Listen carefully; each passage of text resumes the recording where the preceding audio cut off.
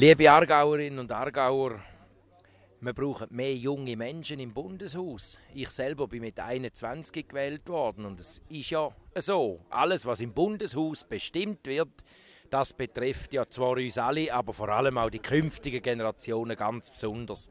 Darum mehr Jungsblut nach Bern.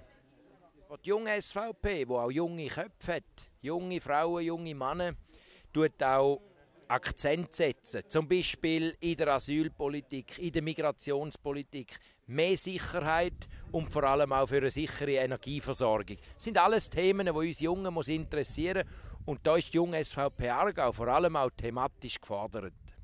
Nicht umverteilen, sondern Eigenverantwortung.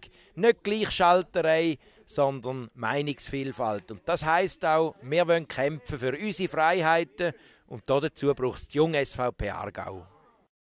Thank you